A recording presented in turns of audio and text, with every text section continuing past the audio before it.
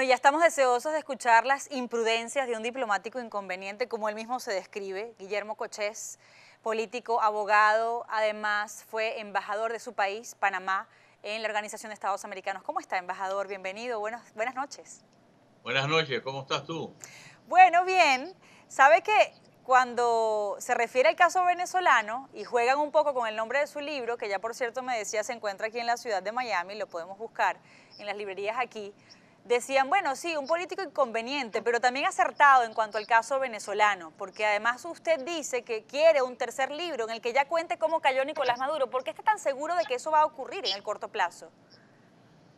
Ayer me preguntó un periodista eh, qué opinaba yo de que lo que iba a pasar a los 90 días de las sanciones de, de Nicolás Maduro hacia empresas panameñas.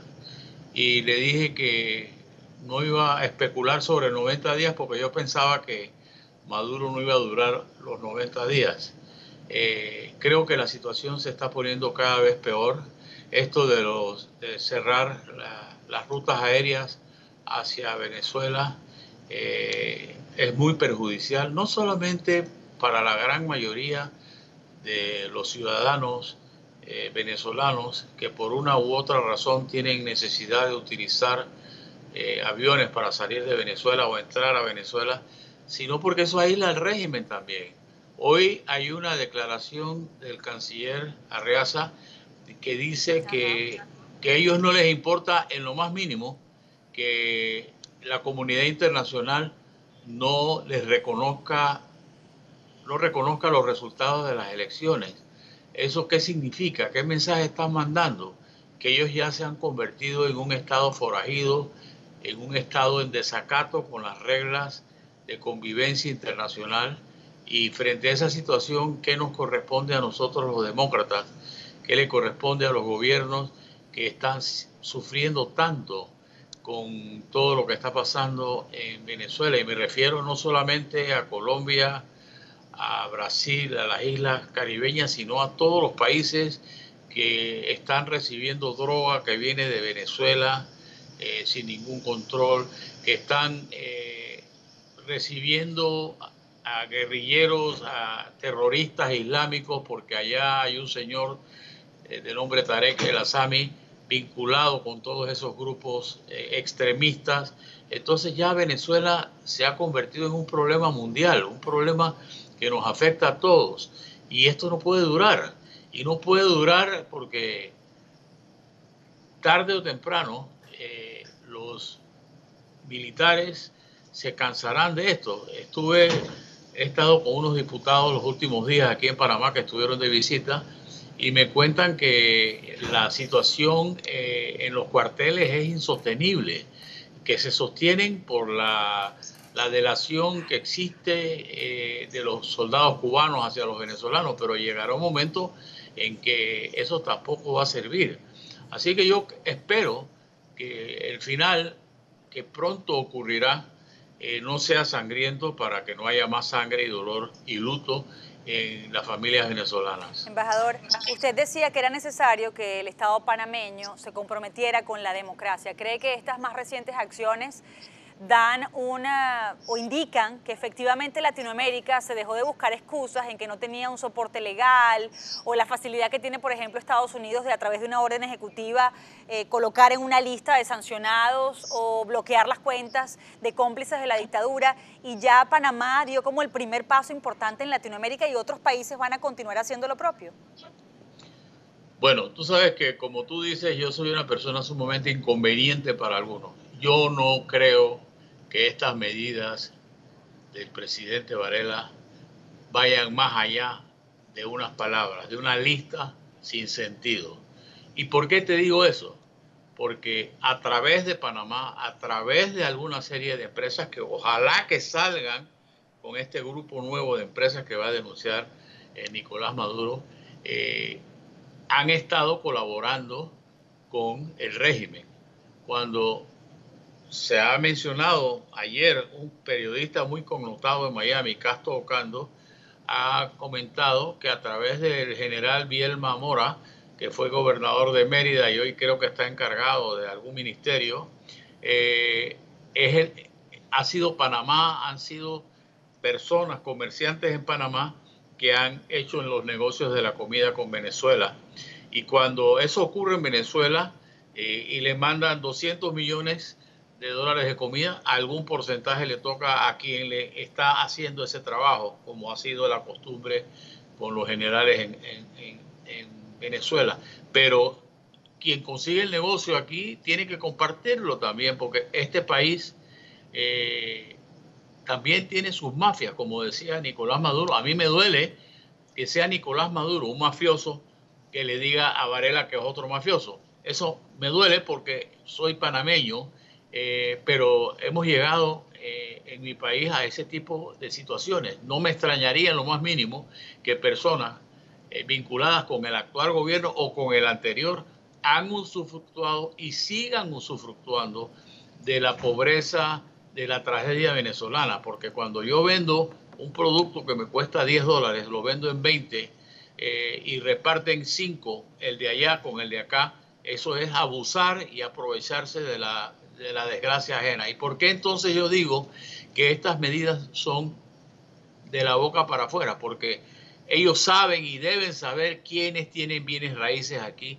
quiénes tienen negocios ilícitos aquí, quiénes utilizan a testaferros aquí, quiénes son los panameños con algún poder o alguna influencia en Panamá que tienen vinculación con los venezolanos, cuáles son los bufetes de abogados que les sirven y le facilitan los testaferros a todas estas personas que están en Venezuela aprovechando de la, de la pobreza de la gente. Entonces, por eso te digo, yo soy muy inconveniente. Yo creo que ha sido bueno el que hayan puesto esa lista, pero sabrá Dios qué es lo que nos va a salir ahora con la nueva lista que ha dicho Nicolás Maduro que va a publicar. Pero fíjese, fíjese que en esta cumbre de las Américas conversábamos ayer con el expresidente de Costa Rica, eh, Miguel Ángel Rodríguez, y nos decía, en el pedimento del Grupo IDEA, y además en esta gira que ha hecho Antonio Ledesma se lo convirtió, se lo conversó o lo compartió con el presidente francés, están pidiendo estos expresidentes la cumbre va a servir para eso y políticos venezolanos que las naciones que han recibido a los hijos, a la familia en general de estos cómplices de la dictadura de Maduro y a los testaferros en otros lugares del mundo los expulsen, los expulsen de allí, porque además están viviendo con el dinero que se robaron del pueblo de Venezuela. ¿Usted cree que eso pueda ocurrir, que efectivamente sean expulsados de todas estas latitudes?